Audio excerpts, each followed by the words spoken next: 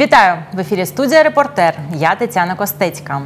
Хочу привітати усіх з новим 2022 роком та наступаючим різдвом. Побажати всім здоров'я, щастя, благополуччя та достатку. І говорити сьогодні будемо про одне із найбільш шановних та улюблених свят православних християн Різдво Христове. До нашої студії сьогодні завітав настоятель храму святої мучениці Тетяни і секретар Одеської єпархії Євген Гутяр. Вітаю вас у нашій Добрый студії. день, Татьяна. Здравствуйте, дорогие телезрители. А, Давайте розпочнемо з історії виникнення цього свята Різдво Христове.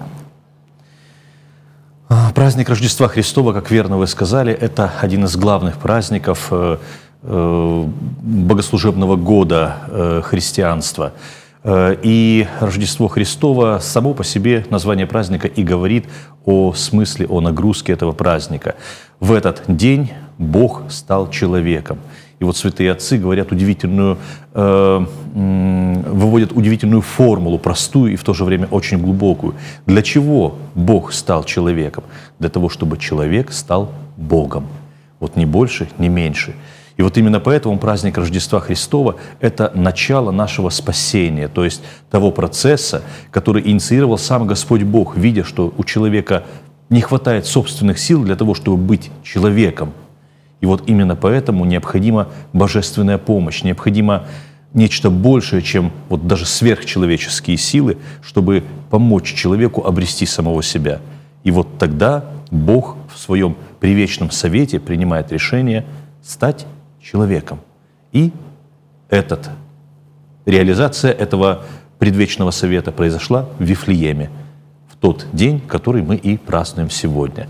Э, Господь родился не э, в каких-то царских палатах, как это поется в, э, в наших любимых украинских колядках, рождественских песнях.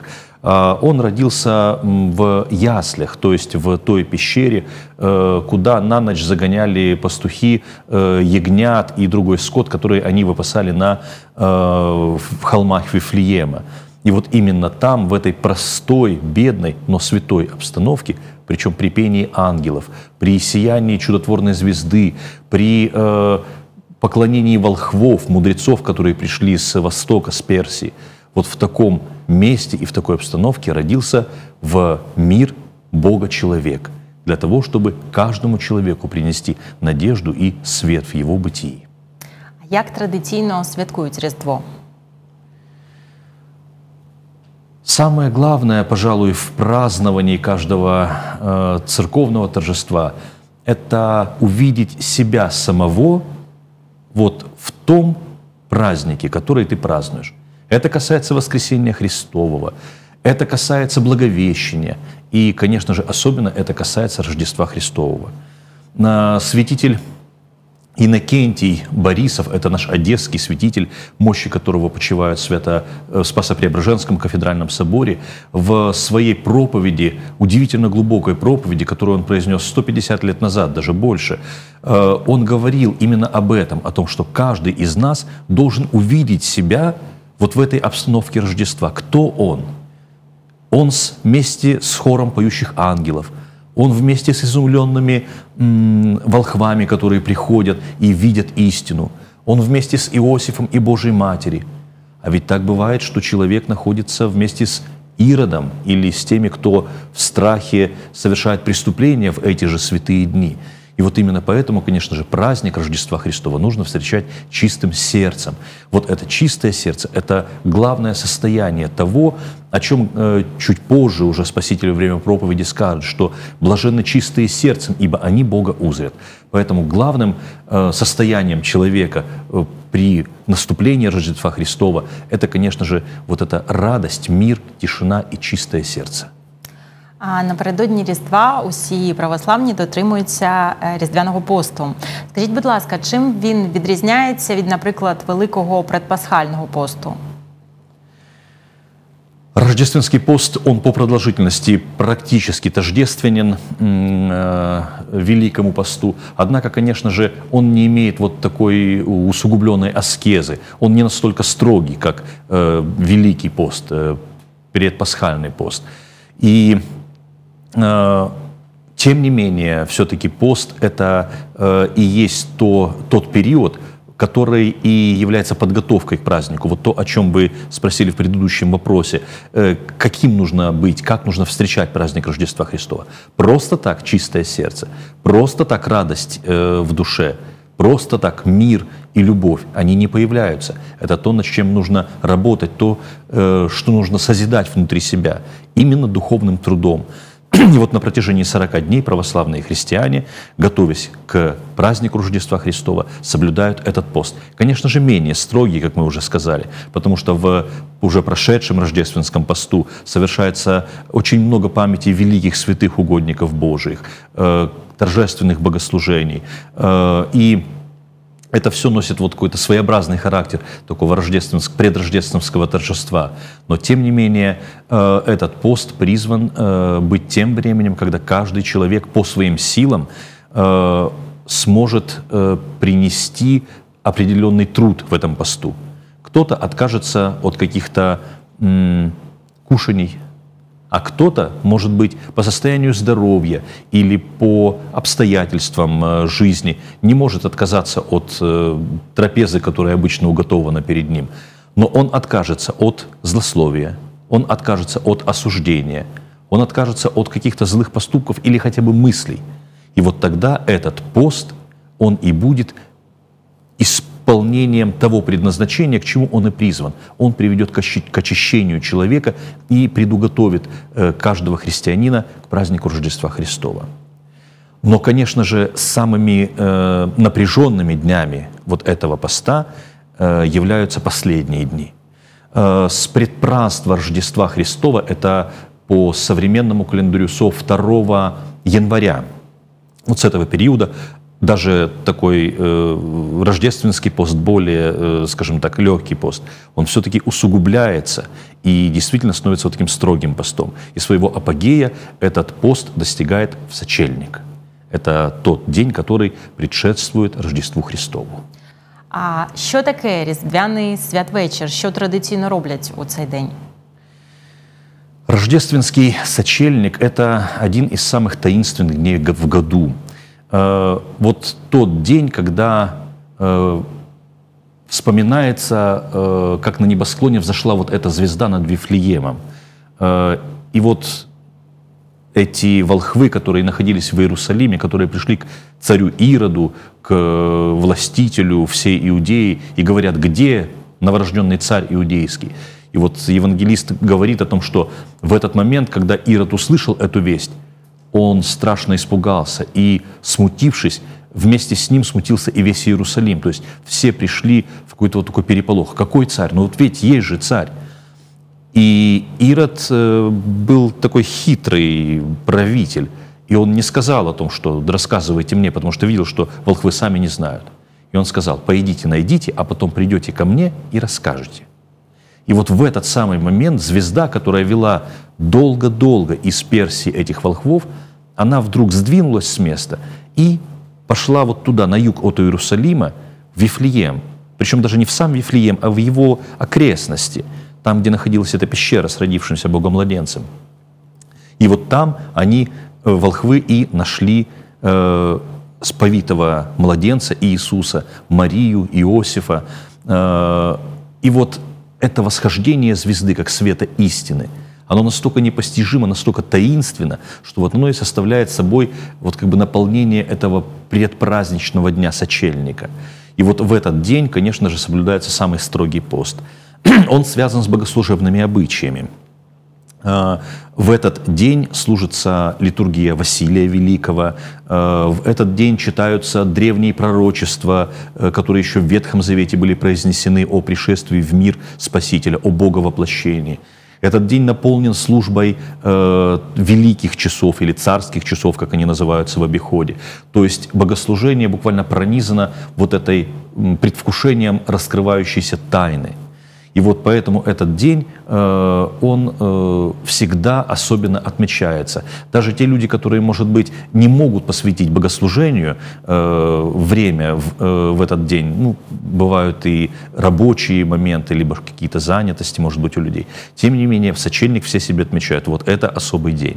И, как правило, вот, может быть, в обыденной обстановке э, сочельник отмечается м, тем, что хозяйки особенно пытаются в этот день э, поусердствовать в приготовлении каких-либо э, страв. Обычно говорят, что 12 страв э, должно так, быть на столе. 12?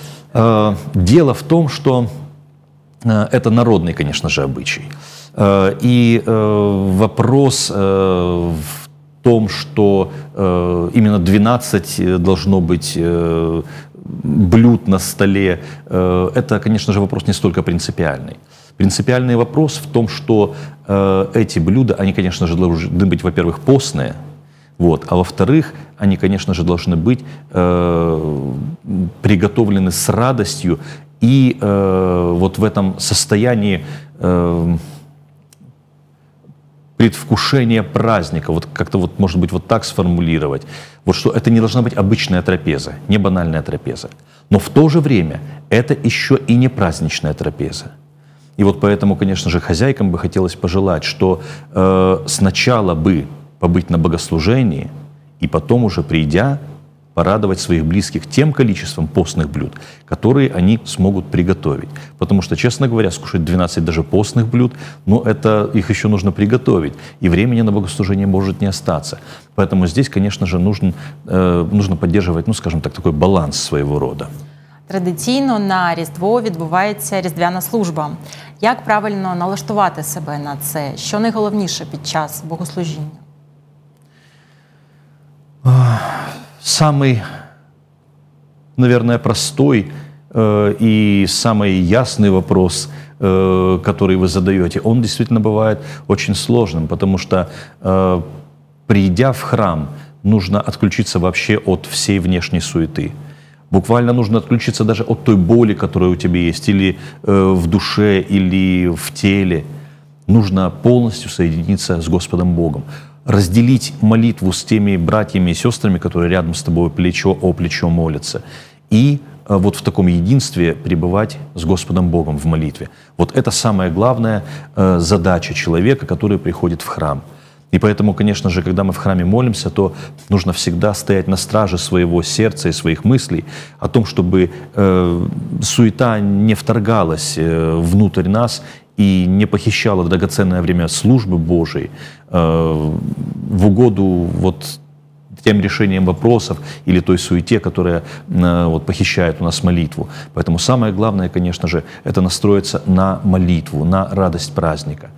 Э, в храме э, в этот день, в день э, Рождества Христова, э, совершается вот одно из самых торжественных богослужений. Оно начинается накануне вечером, вот в сочельник, как мы говорили, в 17 часов.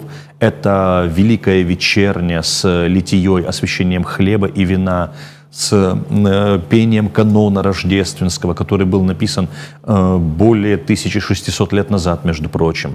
Э, И, конечно же, э, завершается это богослужение в сам праздник Рождества божественной литургией, на которой э, все верующие стараются причаститься святых христовых тайн.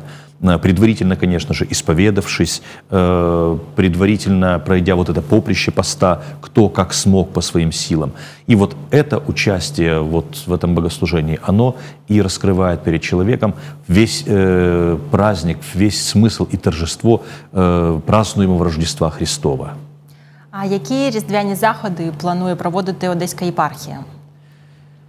Э, Как правило, ну, так у нас уже сложилось, и это очень добрая традиция, которая уходит корнями далеко-далеко в века, что Рождество Христово – это у нас праздник, который всегда связан с детством, конечно же. И вот поэтому, конечно же, особый акцент в дни празднования Рождества Христова э, делается именно на отношении к детям. Мы сами всегда, мы все родом из детства и сами э, помним этот праздник, как он у нас проходил в детстве. И, конечно же, вот это драгоценное чувство теплоты этого дня мы хотим передать и тем деткам, которые рядом с нами находятся. Поэтому, конечно же, основные мероприятия э, Одесская епархия, она планирует проводить именно с детками. Это всевозможные фестивали и на приходском уровне, и на общеепархиальном уровне. Э, это благотворительная деятельность, которая, между прочим, началась еще со дня святителя Николая. Э, Своеобразный марафон э, помощи и благотворительности, он проходит по всем э, детским учреждениям э, Одесской области. Э, это и Бессарабия, это и наши одесские детские дома, специализированные интернаты. Вот в каждый из них приходит священник, причем приходит не с пустыми руками, а с пожертвованиями, с подарками, правильнее вот так сказать, с подарками, с пением рождественских э, колядок, с поздравлениями, с просветительской деятельностью, потому что не просто нужно спеть и рассказать и подарить, но рассказать, конечно же, почему э, это происходит. И вот такого рода мероприятия, они, конечно же, и составляют собой вот такое большое-большое ожерелье добрых дел, которые вся наша Одесская епархия, Одесская церковь делает, э, приурочивает к этому святому дню для наших деток. Ну що ж, зараз у вас є можливість привітати наших глядачів зі святом Різдва Христова. Дорогие друзья, братья и сестры, э, поздравляю вас с грядущим Рождеством Христовым. Вот уже совсем немного времени осталось до этого святого дня. Э, пусть, как в церковных э, молитвах, как в церковных текстах сказано, каждый не смотрит назад, как он провел то время, которое приходит к Рождеству, э, как он провел этот пост. Пусть каждый смотрит вперед. И пусть, конечно же, вот эта светозарная звезда надежды, радости, вдохновения, любви, силы божественной, которая светила тогда волхвам, которые искали Бога там, в Вифлееме. Пусть, дорогие братья и сестры, и для каждого из вас – такая же божественная звезда благодати сияет руководящим светом в вашей жизни. С наступающим Рождеством Христовым! Дуже дякую вам за цікаву бесіду. Дякую, що ви прийшли. З вами була Тетяна Костецька. До побачення.